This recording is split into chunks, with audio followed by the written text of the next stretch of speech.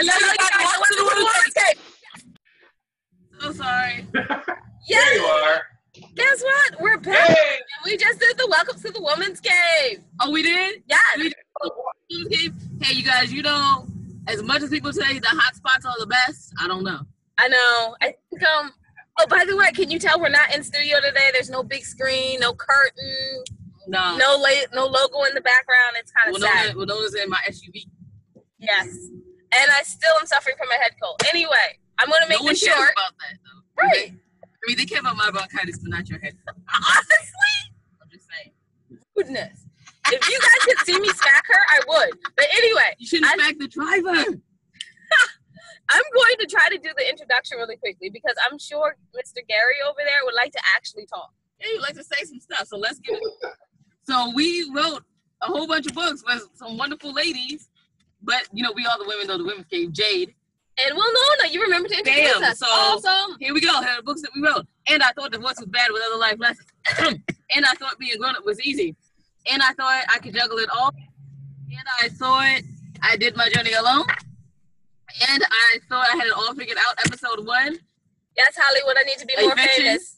All right, it's a fiction. Episode one. I need to be more famous. No, she doesn't. Yeah. That's a lie. It's a screenplay. Make it a screenplay, people. No, I only have no. reality TV We're show. joking. I'm joking. And and I thought he was the one long promised and now delivered. And the workbook. Yay! All of these are available. Excuse me on Amazon.com, BarnesandNobles.com, and TheWomen'sCave.com, and and WeThought.com, along with our flask and merchandise. You guys, absolutely wonderful. And we have the Inspiration of Women in Literature coming up. Inspiration Women in Literature Conference is in Sacramento State University, or you can do this virtually. You can find all that information out on andwethought.com. Also, please proudly support the charities that we support. When you go to the ladies page all the way down to the bottom, they do awesome work. And watch me. Yes. Oh, I'm sorry. And Jade, I almost forgot. On our television I'm just the driver. on our television show in Cali- on California on Channel 8. Or you can watch it after It after it airs, she streams on Amazon.com. See, and I wrapped it up real quickly today. Well done, Jade. Somewhere over there. Well done, Jade. What? Yeah, there you go. I Anyway, that didn't quite make it. So. I'm driving. 10 and 2, people. 10 and 2. yes. So, okay, you guys, you are not here to hear about us. You are here to hear about our guests. So, guests, would you like to introduce yourself? Yes. Mr. Gary, Hi there. like to introduce yourself? Yeah, yeah. so, are, we, are you getting me loud and clear or what? Yeah. Yes. Oh, well. So you're gonna introduce Oh, you? good, good. You got me. What did you write? Uh, You're an author, right? I don't know. You don't know? Yeah, yeah. I'm Gary. You're an author. Okay. And I'm, yeah. And a book critic. And, uh, what's that? What did you write? I've written a book called Journey. It's a collection of short stories of science fiction about a teddy bear. Uh, seven of them are the teddy bear. He's in an eighth one. And I have so much fun with teddy bears now, and, and I give them away to different people. But this, this particular character is nothing like what you're used to. Some people compare him to Ted, but he's not offensive. He's not uh, toilet humor. He's not sexual, uh, you know, uh, nasty sexuality stuff. He's just a, a fun, fierce-looking teddy bear who scares people, especially kids sometimes. But he came from me viewing a real teddy bear that looked just like him, and I watched the kids and how they participated with him, and they were afraid of him, and some of them came up and gave him karate chops and stuff like that. So in one of the short stories, there's a little kid, and he comes up and he says, something that lives in the bear to him, I wouldn't do that if I was you. And the kid just ignores him, comes up, starts to give him a karate chop, and does something, and the bear falls falls down because he's sitting. He rises up again, and then the kid all of a sudden is in the street, and he's laying in the street crying, and he gets up. The little kid, he's about six or seven, and he gets up and runs, says, and the bear says, "I warned you." So those are the type things that I do, but they're, they're comical, but based on just observations from the bear, the real bear that I saw at a mall when I was working in malls because I used to work in market research. And those are the people that have the clipboards. And everybody told me about an Animaniacs, Animaniacs episode I had to see. And once I saw it, I was like, oh my God, I love it. I love this particular episode because it's grumpy women. You want to do survey? You want to do a survey? I never did that. I always asked, we're doing a survey. And people stopped, said, what's it about? And I'd say, let me ask you a few questions. So even in this short story collection, there is a story about market research, and I put it on the moon. And my character, the cover, as you see, is a bear on the moon. And are you seeing it? Yes. The cover? Yeah. And so the bear's on the moon, and his name is. And so in my next section, I'm going to explain. Uh, I've just had so much fun with this collection. I've been in this business since the 1970s, off and on, as a salesman, a participant in um, radio, and doing the reviews. And then the outgrowth is just my short stories. And everybody says, write a novel, write a novel. Well, I, as a writer, just want to write what I want to write. And I'm very pleased and happy to be doing it. So it goes into uh, what we were doing with setting this interview up. I had never done Zoom. I had never done uh, any of the other type things uh, that you have to do this. So when you offered it, I was like, oh God, how do I do it? How do I do it? So I just followed your prompts. And then the thing came up and said, okay, uh, they're coming, you know, the host is uh, getting ready or, or something in language that I understand. Oh, so there you are. And uh, that goes to, and I'm told you I will say this, that goes to one of my things to writers. Always want to learn. I know Yes. too many writers, especially with where I'm at with you, there were two two writers who have given me absolute fits. One, uh, both have gone on social media to criticize me for what? I didn't review the book in the timely fashion of a month or so. Hey, if you saw the workload of other reviewers, you would be like, oh my God, I have a whole room just full of that are sent to me by publishers. There and said, you think your book is the only one in the whole world? So that's the point. People should be open to learning and learning the business. And too many of them are not. But most at this event were. And we hooked up because of the event. So I'm telling authors, be open to doing these events. You may- may not sell a whole lot of copies, but you'll make connections that will help you sell your books.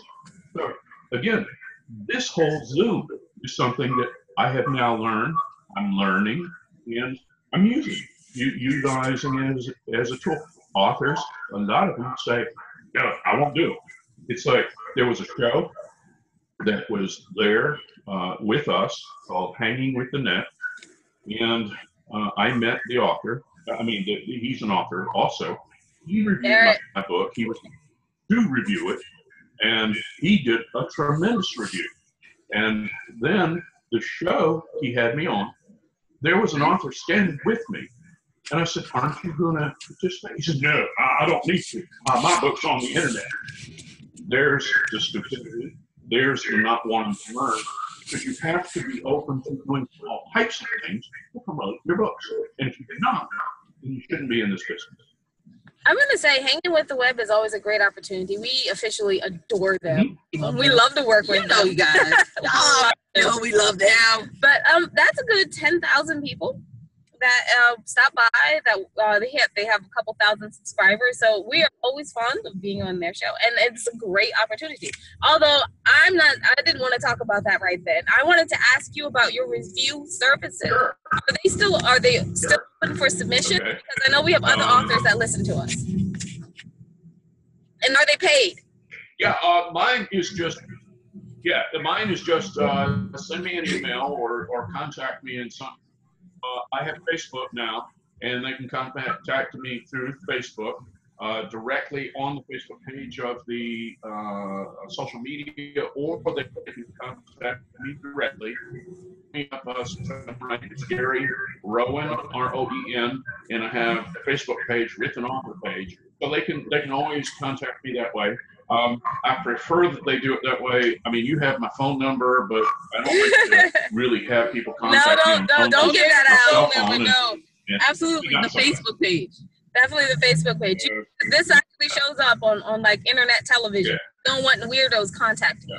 Please, no, we don't. We don't want. it. I mean, I'm not saying that you guys are weirdos. People that listen to us, I'm sure you guys are, apt, but you know, cautious. Gotta be cautious. Yeah, Digital age. Okay, so how long did it take you to write? yeah, they have to. understand that. Yeah, they, How long did it take you to write your? the, uh, the book it took mine it took me uh, a number of years because short stories were done over a period of time but pulling it together i had the short stories in march by uh, may we had the book out and we, we wanted to celebrate the convention oasis here in orlando and that was a great way for me to promote the books and i think i sold of a slow very slow convention 10 copies now that's excellent for somebody that's pretty much unknown. But I'm getting a lot of feedback from other science fiction writers, other horror writers, other other writers in general. Uh, but, but that's what's great about the whole business. They're, they're friends of mine. They have been, but they're they're giving me unbiased opinions. And Garrett gave me the most unbiased opinion, so I knew that I have something. And it's worth seeing that review come, and, and everybody else says, don't read the reviews because uh, they're going to be negative. So be it. But negative reviews do more to sell books than positive ones, oddly enough, because the uh, reading public says, well, why did you not like this? I like it. But that's the key. People go out and buy the book because of it, because they read the negative review. So that's Yes. a thing to you too, also, that you know, also don't get discouraged because there's a lot of negatives that happen, but turn those negatives positive. I'll give you an example. I'm going to use this. The other day, I looked in my house, and on the windowsill is what I thought was a dead mouse. Well, I looked and took a broom, whisked it to the floor, and lo and behold, it turns out to be a bat, a real live bat, and it was alive.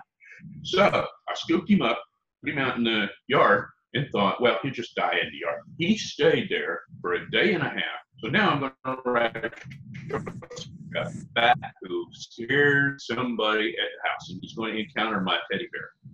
He's not going to like. He's not going to like when he encounters. It's great to see how So- art imitates life or life. Either way.